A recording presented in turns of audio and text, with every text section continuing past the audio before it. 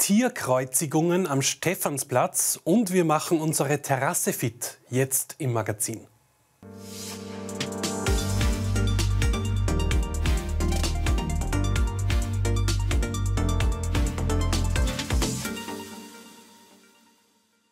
Willkommen zum Kurier TV Magazin. Mit einer Aufregeraktion sorgt heute der Verein gegen Tierfabriken am Wiener Stephansplatz für Aufsehen. Es soll wieder mehr Bewusstsein für das Leid der Tiere geschaffen werden. Judith Tieber war für uns mit dabei. Du sollst nicht töten.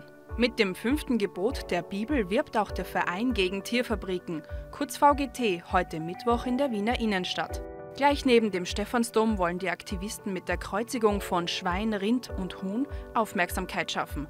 Nicht ohne Grund, auch mitten in der Karwoche. Es haben Leute von uns so Kreuzwege gesehen und haben sich gedacht, hoppala, das erinnert mich irgendwie an den Leidensweg der Tiere, weil so ein Kreuzweg hat ja viele Stationen, sehr viele grausame Stationen, wo ihm Jesus gequält wird und am Schluss wird er umgebracht. Und bei den Tieren ist es eigentlich auch so. Ihr ganzes Leben ist eigentlich eine einzige Tortur und besteht aus verschiedenen äh, Stationen und jede bedeutet eigentlich Leid und am Ende steht ein grausamer Tod. Und das hat uns eigentlich dazu gebracht, es anlässlich zu Ostern so eine Aktion zu machen. Plus es wird zu Ostern sehr viel Fleisch gegessen. Es gibt den Osterschinken, es gibt das Osterlamm und es gibt eben die, die Ostereier. Und dann haben wir uns gedacht, da müssen wir irgendeinen Gegenpol machen und müssen aufzeigen, wie die Tiere eigentlich leiden für das Osteressen. Auf den beliebten Osterschinken, ja selbst auf die Ostereier, soll laut dem VGT verzichtet werden. Wo bleibt dann am Ende die Tradition, die vor allem für Kinder bedeutsam ist? Zum Beispiel ein Räuchertofu oder Seitan, da kann man dann auch so eine Art Osterschinken damit machen und dann hat man ein Osteressen, ohne dass ein Tier dafür leiden und sterben muss.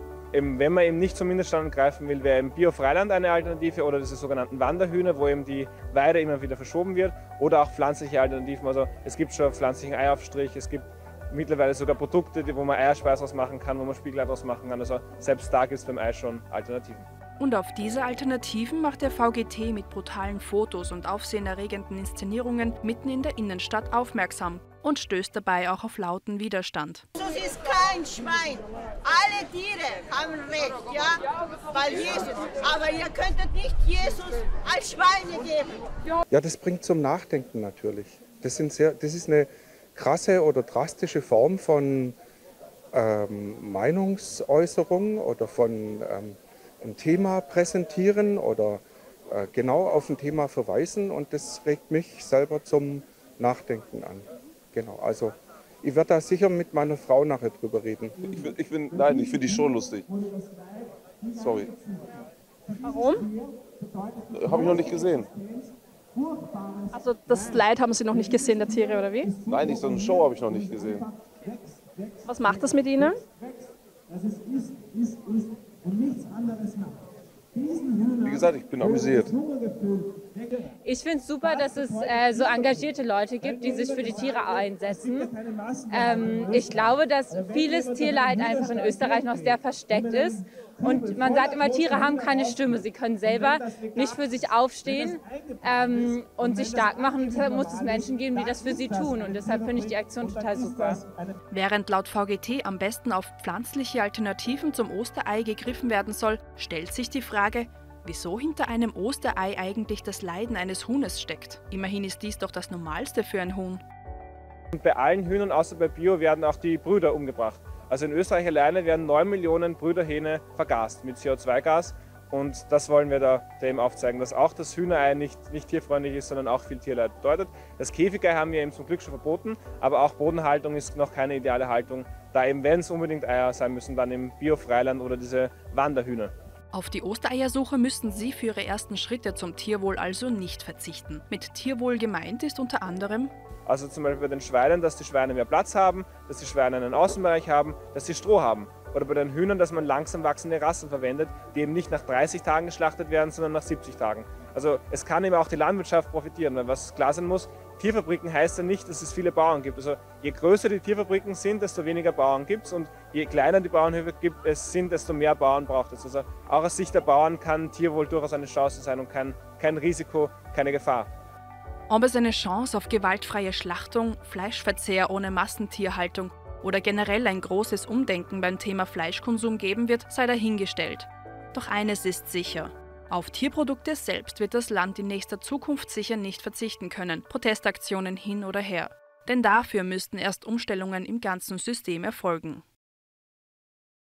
Wir schauen rein in das aktuelle Profil und das tun wir heute mit Profiljournalistin Angelika Hager. Schön, dass du da bist, Angelika. Freut Danke mich. für die Einladung. Es geht diesmal um die Großbaustelle Wohnen. Warum ist das eine Großbaustelle? Weil sich dramatische Dinge da ereignen. Es ist wirklich tatsächlich so, dass fast eine halbe Million Haushalte im Mietrückstand ist. Das ist eine Zahl, die mir die Volkshilfe gegeben hat, äh, dass die Delogierungen um 20 Prozent angestiegen sind und dass die äh, Präventionsstellen und Sozialberatungsstellen von den äh, Hilfsorganisationen wie Diakonie, Caritas, Volkshilfe überrannt werden. Also die haben Steigerungen von 50 bis 100 Prozent, weil die Menschen äh, einfach ihre Miete nicht zahlen können. Äh, und es geht jetzt nicht mehr nur um die Energiekosten, weil es gibt ja auch äh, Essen oder Heizen, diesen Spruch mittlerweile. Es geht einfach darum, dass man die Miete, die ja sich immer stetig erhöht, äh, und äh, nicht gedeckelt wurde, wie man weiß. Die Mietpreisbremse ist ja nicht äh, von der Regierung verabschiedet worden. Äh, dass Wohnen einfach nicht mehr nur ein Grundbedürfnis, sondern zu einer Luxussache wird. Und man muss eines dazu sagen, es trifft jetzt nur noch nicht mehr nur diejenigen, die sowieso schon ohnehin chronisch unterbezahlt sind, sondern auch jetzt wirklich die Mittelschicht, den Mittelstand. Das hat mich eigentlich wirklich schockiert. Ich habe mit einigen äh, Betroffenen gesprochen, die quasi so Menschen sind wie du und ich, also äh, mittlere Mittelschicht würde ich mhm. sagen. Und die äh, sagen, also das hat Sie können, Sie müssen sich Untermieter reinnehmen, Sie müssen Ihre Ersparnisse anzapfen, die eigentlich für die Pension gedacht werden. Und äh, Sie können sich einfach äh, diese, diese eklatanten Preiserhöhungen äh, nicht mehr leisten oder müssen sich eben verkleinern. Aber verkleinern kostet der Umzug auch wieder. Man muss Maklerprovisionen zahlen. Also es ist ähm, eine, eine Situation, die nicht sehr erfreulich ist und ein äh, nahes Ende ist nicht absehbar. Und du hast auch mit einigen gesprochen, auch anonymisiert, wo sich ja. wirklich Tragödien abspielen. Tatsächlich auch wirkliche Tragödien, wo äh, eine Mutter äh, ein Fall, den die Caritas an mich weitergeleitet hat. Eine Mutter sagt, sie kann am Supermarkt nicht mehr äh, die, die Dinge, die sie einkauft, bezahlen, weil die Preise so wahnsinnig hoch sind. Sie hat eine vierjährige Tochter, ist Alleinerzieherin. Sie muss jetzt einen 40-Stunden-Job annehmen. Dann wird wieder das mit der Kinderbetreuung sehr schwierig. Also es ist ein dringender Handlungsbedarf und eine Mietreform gefragt. Und äh, diese Einmalzahlungen, die wir jetzt durch den Wohnschirm haben, wo alle Hilfsorganisationen Organisationen sagen, das ist eine gute Einrichtung und das hilft sozusagen gerade jetzt in dieser, äh, wenn es brennt, gut, aber à la longue muss man Strukturreformen schaffen. Also ich habe mit Klaus Schwertner von der Caritas Wien, Erich Fenninger von der Volkshilfe geredet und äh, es ist wirklich so, äh, dass vor allem auch junge Leute betroffen sind. Also wir haben 20.000 Obdachlose, auch eine sehr große Zahl. Das ist aber sozusagen die offizielle Zahl. Die Dunkelziffer an Obdachlosen kennen wir nicht, die wird viel größer sein. Und äh, Klaus Schwertner sagt zum Beispiel von der Caritas Wien, äh, dass sehr, sehr viele unter 30 sind. Also 65 Prozent dieser jungen Menschen, die keine Bleibe haben, sind unter 30. Und äh, äh, Erich Fenninger, der auch äh, sozialmäßig forscht, ja, sagt, dass natürlich 1,4 Menschen momentan sich, äh, Millionen Menschen sich in Armut befinden. Eine drastische Erhöhung der Kinderarmut.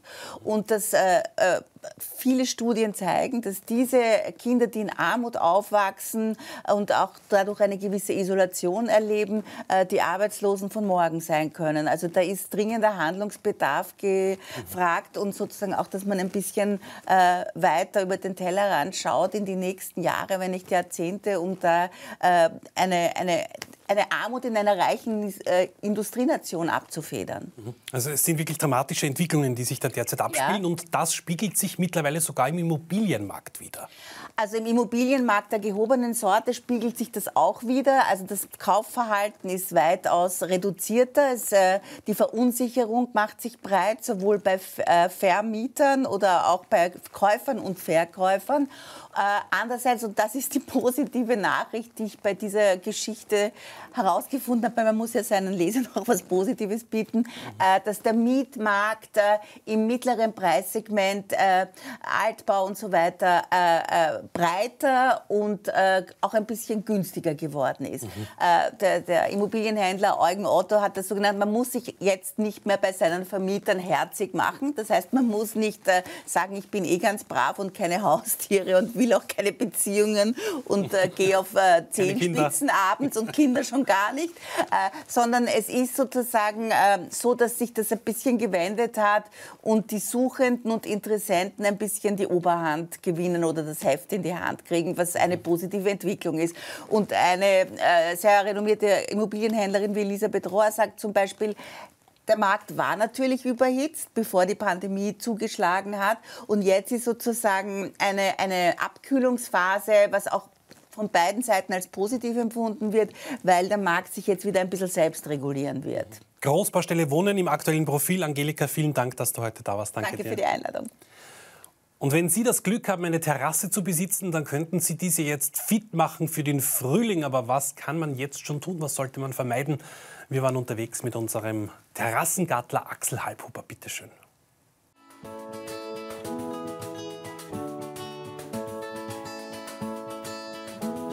Der Frühling ist die Zeit, um seine Terrasse wieder zu nutzen und das auf vielfältigste Art und Weise. Einer, der das Terrassengarteln perfektioniert hat, ist Axel Halbhuber.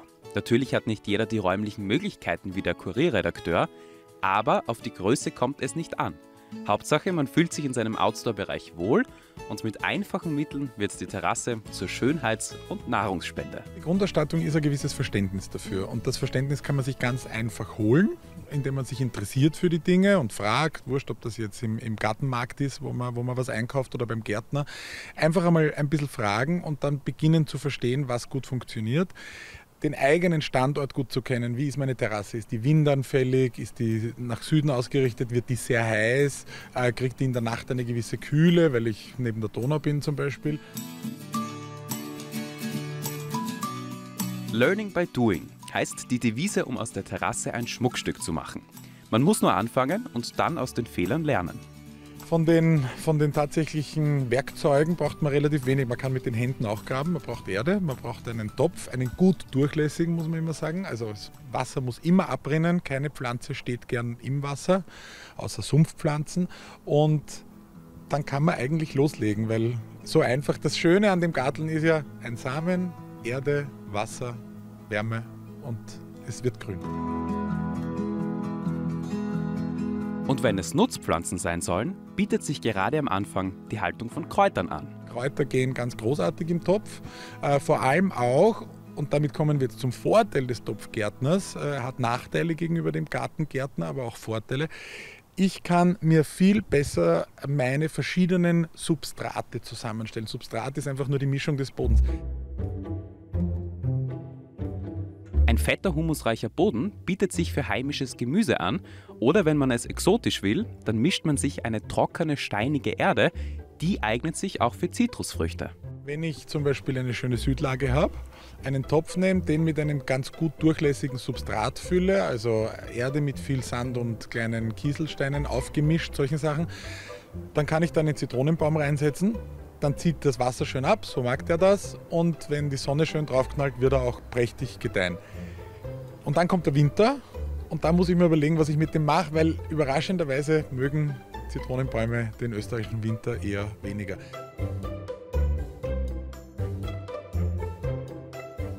Auch was die Möblierung auf der Terrasse angeht, sollte man sich vorher überlegen, ob man die Möglichkeit hat, Bank und Tisch im Winter schonend zu lagern. Aber in erster Linie sollen die Möbel auf der Terrasse schön und bequem sein. Man darf nicht irgendwie sagen, ah, das schaut toll aus, das habe ich dort gesehen. Man muss sich selber fragen, was mache ich gern. Wenn man gerne ein Buch liest auf der Terrasse, dann würde ich auf jeden Fall einen gemütlichen Platz definieren, ein gemütliches Polstermöbel finden. Wenn man sagt, ich schaue gerne ins Handy auf der Terrasse, was auch okay ist, dann würde ich das in einen, auf einen schattigen Platz stellen, weil immer Sonne am Display ist auch schier. Mit guten Ideen und ein wenig Know-how wird eine Terrasse zu einem Outdoor-Wohnraum mit Schlaraffenland. Die Kandidatensuche in der SPÖ ist das innenpolitische Thema derzeit. Wer wird die Partei in Zukunft anführen? Andreas Babler, der Bürgermeister von Dreiskirchen, der hat sich letzte Woche da ins Spiel gebracht. Seine Chancen stehen gut, das Rennen um die Parteispitze für sich zu entscheiden. Heute Abend ist er live zu Gast bei Kurier Innenpolitikchef Martin Gebhardt. Warum tun Sie sich den nächsten Schritt in dieser schwierigen Situation an, dass Sie sagen, okay, ich stelle mich dieser Mitgliederbefragung? Mit Konkurrenten wie, Han wie Pamela Rendi-Wagner, Hans-Peter Doskozil? Ja, das ist eine Entscheidung, die, man aus dem Innersten heraus trifft, ganz einfach. Ich bin, äh, so wie viele Mitglieder, schon seit äh, vielen Jahrzehnten Teil der sozialdemokratischen Familie, ganz bewusst einmal in die Sozialdemokratie eingetreten. Viele sind jetzt neu dazugekommen, äh, aber mit denselben Motiven, dass man miteinander organisiert, für was brennt, was bewegen will, Visionen hat. Und jetzt hat sich die Situation ergeben, dass äh, wir gesehen haben, dass das äh, sehr ein kollektiver Frust geworden ist, was in den letzten Jahren, speziell in den letzten Monate und letzten Wochen sozusagen ein Schauspiel aufgeführt worden ist, um es einmal ganz locker zu sagen. Und dass es jetzt einfach eine Perspektive geben muss, das zu überwinden, die Partei aufzurichten und ja, irgendwann war dann die politische Entscheidung zu treffen, ob man persönlich auch dafür zur Verfügung steht, äh, Teil dieser Veränderung zu sein. Sie werden auch immer verortet im linken Flügel mhm. Der Sozialdemokratie. Also Ihre Positionen wird automatisch gesagt, das sind die linken Positionen. Ist das die richtige Bezeichnung? Ja, ist immer die Frage, was man darunter definiert. Also ich habe eine Antwort darauf. Also wenn links das ist, dass man sich halt einsetzt, ganz konsequent für die Leute, die sozusagen die Politik nicht kaufen können, die ihre Lebensinteressen einfach schwer durchsetzen müssen, gemeinsam organisiert, die kein Lobby haben, keine politische, keine starke. Also wenn ich dafür sorge, dass man in Österreich einfach äh, jedem Kind ein warmes Essen garantiert, egal wie finanziell stark der Haushalt dahinter ist, ja, dann kann man gern links dazu sagen. Mhm.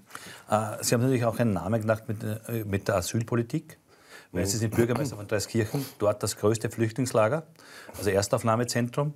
Und zuerst einmal, wie ist es überhaupt gelungen, dass da die Stimmung in der Bevölkerung nicht gibt? Es war doch überraschend, weil äh, Sie ja keine harte Asyllinie verfolgen, mhm. sondern eher schauen, okay, die Menschen, die kommen, dann muss schauen, wie integriere ich sie, wie nehme ich sie auf. Und eine Zeit lang hat die Stadt natürlich schon sehr darunter gelitten, mhm. dass dieses Flüchtlingslager überbelegt war, dass, dass man nicht genau gewusst hat, wie viele werden aufgenommen und so weiter. Wie, wie, wie konnten Sie da eine Linie finden, dass das in der Bevölkerung akzeptiert wird? Ja, es hat zwei große Ansatzpunkte. Das eine ist eine, eine humanistische Betrachtungsweise. Die steht drüber und das spüren auch Menschen. Das äh, für mich ein großes Prinzip ist, Respekt gegenüber anderen Menschen zu haben. Äh, das sind die Werte, die wir alle miteinander wahrscheinlich sehr stolz sind, wenn wir das schaffen, niemandem zu helfen, aufeinander zu schauen, niemanden im Dreck liegen zu lassen. Das passt vielleicht in Dreskirchen in 2015 und äh, jetzt in den äh, letzten Monaten dazu, dass wir das auch ganz privat weitergeben. Und ich glaube, das ist ein guter Ansatz in die allgemeine Politik, Respekt vor Menschen auch zu einem politischen Programm zu machen, dass es etwas Gutes ist, solidarisch zu sein und dass wir sich auch freuen würden, wenn in der Politik ein positiver Zugang ist. Schauen Sie rein, heute Abend den Checkpoint um 20.15 Uhr bei uns. Sonne und Wolken waren heute im Wechsel beim Wiener Stadtpark, wie wir auf den Bildern sehen. Damit sind wir auch schon bei den Wetteraussichten für Wien, Niederösterreich und das Burgenland. Morgen am grünen Donnerstag als auch am Karfreitag wenig Änderung. Es bleibt bei vielen Wolken. Die Sonne kommt immer weniger zum Vorschein. Es bleibt aber überwiegend trocken bei jeweils bis zu 10 Grad. Morgen Donnerstag gibt es bei uns Spinat und eine Austropop-Legende wird 70. Machen Sie es gut, bis morgen.